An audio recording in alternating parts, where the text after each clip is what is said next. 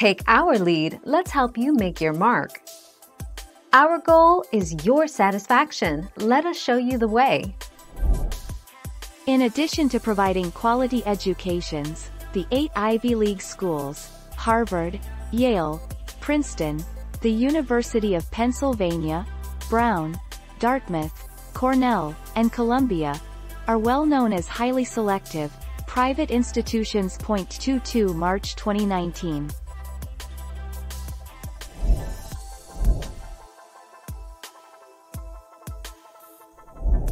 Make your mark, take our lead. Even today, these universities maintain their reputation, and they have a large presence among the top-ranked universities in the U.S. They are joined in this position by Stanford, MIT, and Caltech. Schools that are not technically Ivy League schools, but tend to enjoy a similar reputation and social status. 23 December 2020.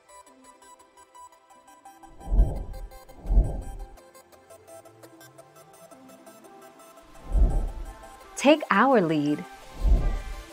What are the public Ivies?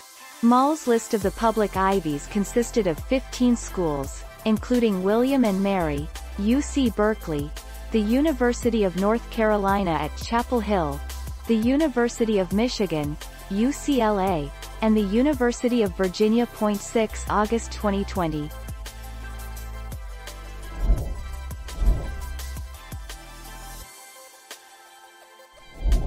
Let's help you make your mark. Harvard University is a private institution that was founded in 1636.